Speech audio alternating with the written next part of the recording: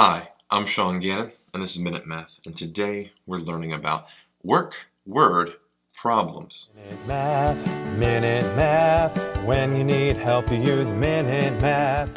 We're given this problem right here. It takes Kali 8 minutes to sweep a porch. Shawna can sweep the same porch in 11 minutes. If they worked together, how long would it take them? So let's break down what we know. This work that Kali did of sweeping the porch, we don't know what her rate is, so we'll call that her K, or K for Kali. And but we told uh, they told us here that it takes eight minutes, right? Eight minutes for her to do that. So Kali's rate times eight minutes gives us the work that was done. Shawna does the same thing. They say Shawna's work was called S. Her work rate times 11 minutes can, completed the job. Okay?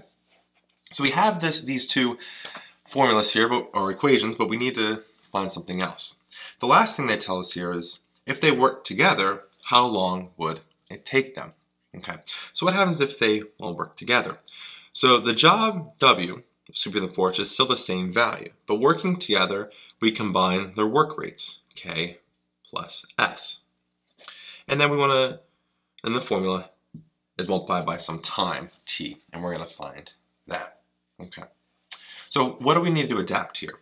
Well, the first thing I'm going to adapt is I'm going to take, well, we can see k times 8 and s times 11 both equal our work w. So if we set them equal to each other, so let me separate this out here, k times 8 is equal to s times 11.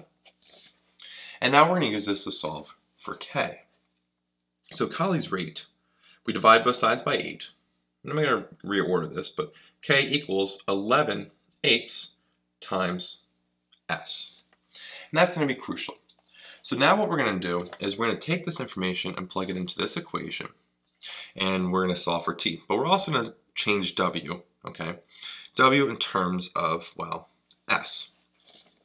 So w is equal to 11s, or s times 11, however you want to write it.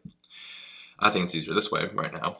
And then instead of k, we're putting 11 eighths s plus s times t.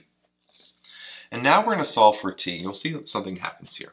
So 11s comes down, and 11 eighths s plus 1s, that's a 19 over 8s, and we're still multiplying that by t. We divide 19 eighths to both sides, or 19 eighths s, excuse me, to both sides, the s's cancel, 19 eighths cancel here. These s's also cancel. And that leaves us with t by itself, and it's approximately 4.63 minutes. And so if they work together, they could sweep the porch in approximately, our final answer here, 4.63 minutes. Hope this video was helpful for you, and if it was, please subscribe to this YouTube channel and like this video. This helps us make more free math lessons for you and for everyone else. So as always, thanks for watching. Minute Math, Minute Math. When you need help, you use Minute Math.